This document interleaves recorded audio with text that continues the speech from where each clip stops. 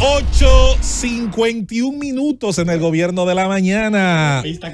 Tenemos más energía aquí, Tavo 3 en esta, en esta cabina. Ah, Otro invitado. Wow. Estamos aquí. Invitado de especial de la Z hoy. Siempre, siempre Estamos de regreso aquí. Vámonos, señores, en nuestra ronda de comentarios a presentar la participación de nuestra compañera Diulca Pérez. Muy buenos días, gracias José Luis y gracias a toda esa audiencia que está con nosotros. Saludos a los compañeros de esta mesa de debate de la Z101 y saludos a mi querido Manuel Conde. Allá estuvo haciendo su recorrido por toda Europa y estuvo con gente que yo quiero muchísimo. Así que desde aquí un abrazo muy fuerte de todo este equipo de la Z y saludo a mi querida Gloria, Gloria Guevara. Gloria, una fajadora.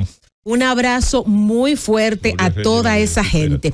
Miren, eh, la culpable de que estuviera esta, esta, este fin de semana en San Juan de la Maguana, en parte, ha sido Susana Botrón. Eh, pero ustedes no se imaginan qué felicidad me generó estar en San Juan de la Maguana, estar con mi gente del sur del país y soy matera, soy matera para que no venga de una vez Fernando a echarme todo ese balde de animadversión hacia mi pueblo, porque a él le encanta agitar, eh, pero de verdad fue un gran placer y participar en el debate de los candidatos a diputado de San Juan de la Maguana fue definitivamente, señores, una, una bocanada de aliento, una bocanada de esperanza. Ahí estuvieron candidatos de mucha calidad, tanta calidad que muchas veces son representantes aquí de su pueblo y uno no sabe sacarle la ventaja de todo el talento, todo el conocimiento de su región y todo el amor que tienen por su región. Miren, ahí no solamente hay eh, representantes de la fuerza del pueblo de alta calidad, o sea, muchachos, y digo muchachos porque son jóvenes entre los 28 años y los 45, no pasan de ahí. Es gente muy joven que está dando cátedra de que quiere y tiene la calidad para representar su región. Ahí vi a eh, representantes, por ejemplo, de Opción Democrática, que es la primera vez que presenta un candidato en San Juan de la Maguana, un joven que los demás candidatos le llamaron intenso, pero el joven está preparado para defender las causas de su provincia. Pero ahí el PRM tiene representantes importantes que conocen las eh, necesidades de su provincia y tienen la calidad y la capacidad para venir a un Congreso Nacional a defenderla. Pero señores, la fuerza del pueblo tiene representantes ahí con tanta calidad y tanta propiedad que yo quedé impresionada. Yo quedé impresionada. El Partido de la Liberación Dominicana también tiene un excelente candidato. Hablo de los que fueron al debate, porque no todos accedieron a ir al debate o no todos podían ir al debate. Lo que quiero decirle es que la apertura que han tenido en este proceso electoral las provincias para presentar, no solamente son los que debaten aquí en la capital, eso es lo que nosotros entendemos que son nacionales. Señores, cada provincia está presentando sus debates y lo está presentando con un nivel de calidad que debe enorgullecernos, pero además debe abrir la puerta para que cada uno de los aspirantes a posiciones vaya y muestre al electorado, vaya y muestre a los medios de comunicación su propuesta, vaya y defienda su posición frente a quizás los demás que presentan su posición, pero también que quieren descartar la otra.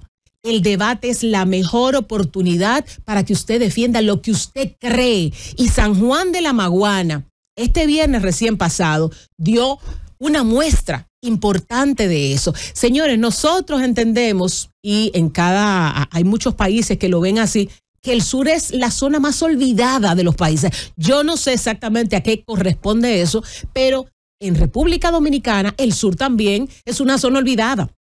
Y esta es una de las muestras de que todo el mundo tiene y puede interesarse en lo que pasa en la región sur, conocer los actores principales de la región sur, conocer lo que otras regiones podrían hacer por la región sur, porque al final, si se enriquece San Juan, si produce San Juan, si produce el granero del sur, usted puede estar seguro que las ventajas no solamente van a ser para esa región, las ventajas van a ser para toda la República Dominicana. Así que mi aplauso a todos los que participaron y también a los que no, no pudieron participar, que en las próximas elecciones habrá una oportunidad para que vayan. No pierdan esa gran oportunidad de mostrar sus propuestas, de defender sus propuestas. Y vamos al debate de Santo Domingo.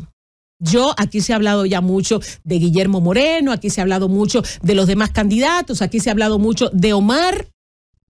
Y nosotros pensamos que los senadores del Distrito Nacional son los senadores del país. No, señores, hay otros candidatos, hay otros candidatos a senadores, hay otra gente que nosotros necesitamos que vaya a ese debate, que muestre su propuesta, que defienda su pensamiento y que nos diga qué hay en su cabeza y qué hay en su corazón. Y aparte de Guillermo Moreno y Omar, que se van a medir en los debates senatoriales que va a presentar Ángel y que va a transmitir la Z101, y que ahí yo entiendo y las encuestas lo muestran, yo entiendo que hay mucha ventaja, sí, pero precisamente ese es un escenario que pudiera de alguna manera darle una ventaja al que se siente en desventaja. Entonces, no vamos en este momento a decir, bueno, pero que Omar, no, no, no. Omar es un excelente orador y conoce su realidad. Entonces, que vaya y se mida con Guillermo Moreno y defienda su postura. O sea, porque independientemente de lo que, de lo que comentemos, independientemente de que Dating Corp le dé un 54% de favorabilidad a Guillermo Moreno, hay escenarios donde usted puede poner todos los esfuerzos para usted defender la oportunidad del voto. No es descartando y hablando de que la gente no va a dejar de ir a votar, señores. Si la gente tiene su candidato, sea del lado que sea, la gente va a ir a votar por ese candidato. Aquí nadie puede apostar a la abstención electoral porque eso no nos conviene como país, eso no nos conviene como democracia y eso a nadie le da ventaja, independientemente de que usted tenga ventaja en las encuestas. Si hay una abstención, a usted también le puede perjudicar. Entonces, no apostemos a ese tipo de discurso. Apostemos a que todo el mundo vaya a las elecciones, vaya a votar, vaya a elegir al candidato. Ahora, usted no puede decir que al otro se siente porque ya tiene la ventaja o que el otro se siente para que usted le sobrepase, porque no funciona así. Otro debate que a mí me interesa, más allá de que nos entendamos la importancia de ver los candidatos del Distrito Nacional, donde se toman las decisiones, pero hay otro lugar donde se toman las decisiones que tendrán que medirse. Y hay que ver, señores, los candidatos de Santiago, los candidatos al Senado en Santiago, porque ahí también hay que medir y también hay que ver el discurso de cada quien, el historial de cada quien, el aporte de cada quien. Y ahí yo tengo que sacarle su plato aparte al doctor Daniel Rivera. El doctor Daniel Rivera, que ha sido precandidato en otras ocasiones del Partido Revolucionario Moderno y que le ha presentado a Santiago no solamente un dossier profesional, sino también un dossier como funcionario público.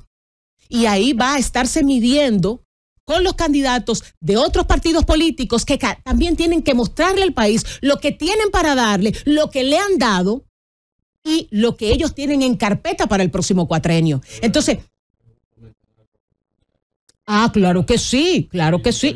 Claro que sí. Marino, está, está Marino Collante, este, Marino Collante que va por y el está, Y está Demóstenes Martínez claro, la fuerza del Que son dos, dos, dos, candidatos. En el caso de Marino Collante. Pero hay que mencionarlos. En el caso de Marino Collante, en el caso de Marino Collante, yo espero que él venga un, un poquito. muy exitoso. Muy exitoso, pero yo espero que venga un poquito más concentrado.